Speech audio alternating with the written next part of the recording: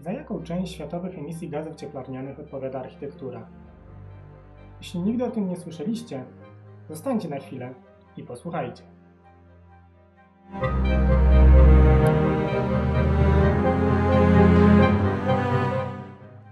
Ale dlaczego o tym w ogóle rozmawiamy? Przecież klimat zmienia się od zawsze. Nasza planeta doświadczyła bardzo wielu cykli zlodowaceń, ochłodzeń, a także ociepleń. Były przecież okresy w życiu naszej planety, w których klimat w okolicach bieguna północnego był tak ciepły, że w wodach bieguna północnego pływały krokodyle. Jednak wyjątkowość tego, co dzieje się w ostatnim czasie, jest tempo tych zmian. Szacuje się, że od początku epoki przemysłowej, czyli około 1750 roku, średnia temperatura powietrza na naszej planecie podwyższyła się o co najmniej 1 stopień. Spójrzmy dla przykładu, jak to się stało w mieście, w którym mieszkam, czyli w Warszawie. Szacuje się, że temperatura przez ostatnie lekko ponad 100 lat zwiększyła się o średnio 2 stopnie. Ale czy ta zmiana 1 stopień w obszarze całej planety, 2 stopnie na przykładzie Warszawy, to dużo czy mało? Spójrzmy na wykres przedstawiający średnie temperatury powietrza przez ostatnie lekko ponad 10 tysięcy lat. 12 tysięcy lat temu to umowna data, kiedy skończyła się epoka lodowcowa, a chwilę później ludzkość wynalazła rolnictwo, co zresztą zdarzyło się niezależnie w kilku obszarach Ziemi. To jest też e, umowna data początku naszej cywilizacji, początku także i architektury. Ważne jest to, że nasza cywilizacja wyewoluowała w konkretnych warunkach klimatycznych i geograficznych, związanych właśnie ze średnią temperaturą powietrza. Możemy zauważyć, że te zmiany temperatury następowały dużo wolniej przez kilka tysięcy kolejnych lat. Dopiero przez ostatnie 100-200 lat coś przyspieszyło. Jako architekt uważam, że informacje przedstawione w formie graficznej często dużo lepiej na nas oddziałują, łatwiej nam je zrozumieć. Dlatego też chcę się podzielić ze świetnymi grafikami stworzonymi przez Eda Hawkinsa, które pokazują zmianę średniej temperatury powietrza na świecie. Na jego stronie można pobrać takie grafiki dla różnych obszarów Ziemi. Tutaj pokazuję dla Polski i dla świata.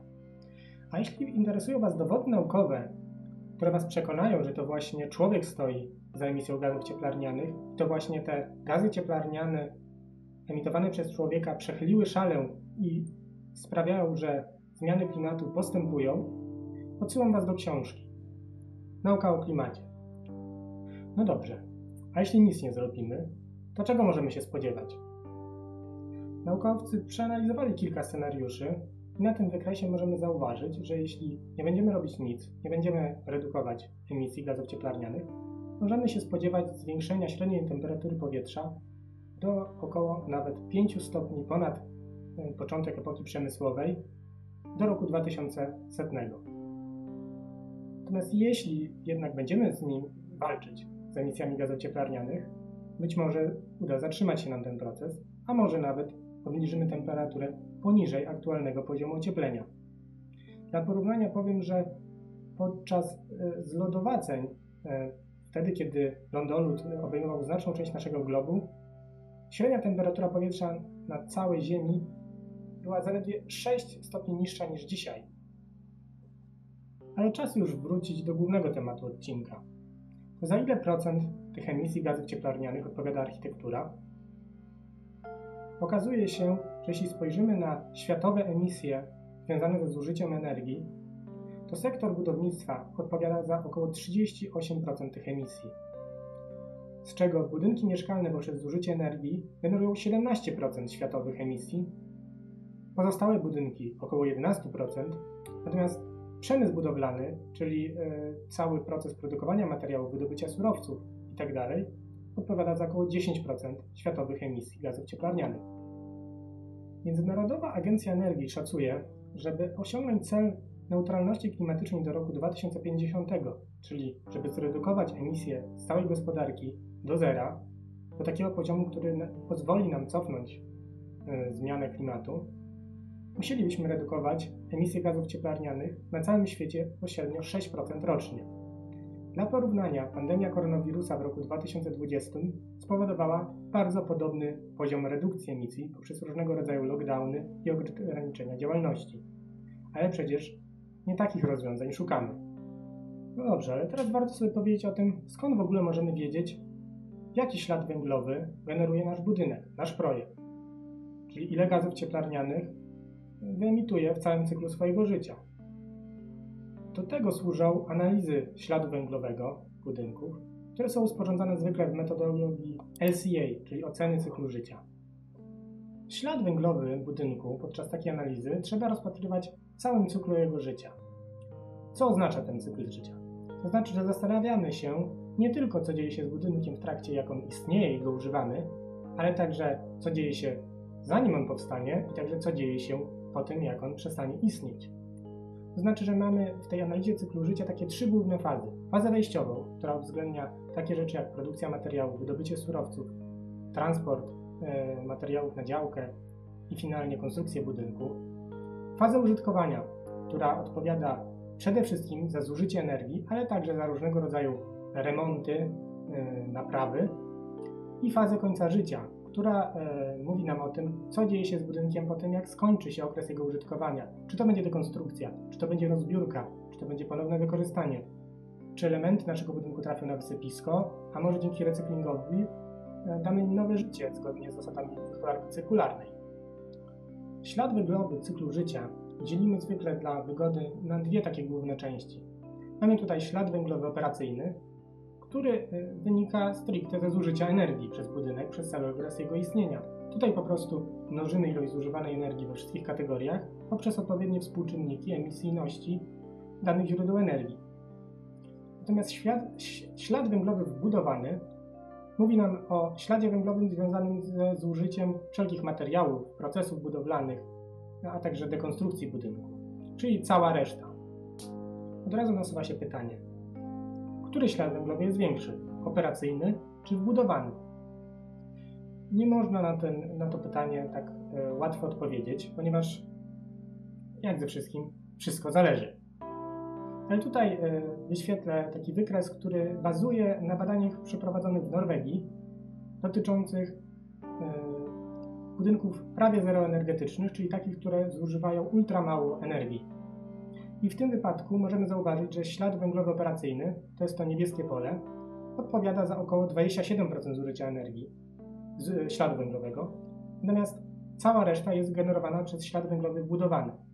Natomiast znowu wszystko zależy. Wszystko zależy od przyjętego na przykład okresu użytkowania. Jeśli będziemy użytkować budynek przez wiele lat, może się okazać, że ślad węglowy spokojnie będzie wyższy niż budowany.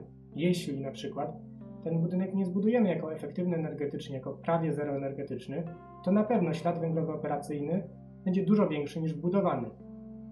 Tak było zwykle z budynkami w Polsce do tej pory, że ślad węglowy operacyjny był dużo większy niż ślad węglowy budowany.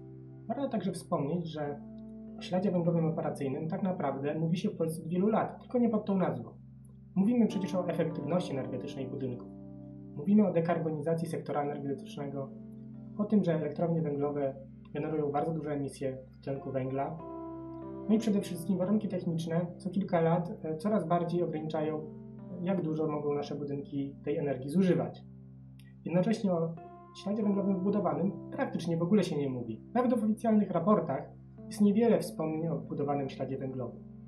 Natomiast kiedy już rozpatrujemy budynki efektywne energetycznie, okazuje się, że ten ślad węglowy wbudowany staje się dominujący. Tutaj natomiast pokazuję wykres, który pokazuje, jak e, wygląda udział śladu budowanego i węglowego na przykładzie efektywnego energetycznie budynku z Ameryki przez kolejne lata. Jeśli patrzymy w perspektywie roku 2050, okazuje się, że tak naprawdę dominujący jest budowany ślad węglowy. A to jest właśnie ten rok, do którego powinniśmy osiągnąć neutralność klimatyczną. Podsumowując, kiedy zastanawiamy się, jak dużo gazów cieplarnianych emitują nasze projekty, nasze budynki, musimy patrzeć na ten problem w perspektywie całego cyklu życia. Musimy patrzeć w ujęciu holistycznym. to już nie tylko kwestia ograniczenia zużywanej energii, ale także kwestia tego, jak budujemy i z czego. Dochodzą do także takie dodatkowe kwestie, jak na przykład optymalizacja. Może się okazać, że pewne decyzje zmniejszają ślad węglowy operacyjny, ale zwiększają ślad węglowy budowany. Taki prosty przykład to jest na przykład izolacja. Jeśli dodamy jej więcej, to zużywamy więcej materiału, więcej emitujemy gazów cieplarnianych, więc gdzie jest ten idealny punkt? O takich aspektach, ale, a także o innych aspektach związanych z architekturą zrównoważoną, ale także i innymi aspektami nauki będę mówił w kolejnych odcinkach. Jeśli zainteresował Cię ten temat, zasubskrybuj. I zapraszam na kolejne odcinki.